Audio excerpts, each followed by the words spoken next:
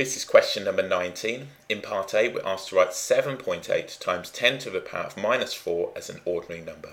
The question carries one mark. This is going to be 0.00078. We're dividing 7.8 by 10,000, or if you like, we're making it 10,000 times smaller. Rightly or wrongly, if you want a more mechanical process, I've moved the decimal place left by 4. In part B, again for one mark, we're asked to write 95,600,000 as a number in standard index form. Remember, our number we start off with must be between 1 and 10. We don't include 10, but we can include 1. So what I'm going to do is write 9.56. That gives me my number between 1 and 10.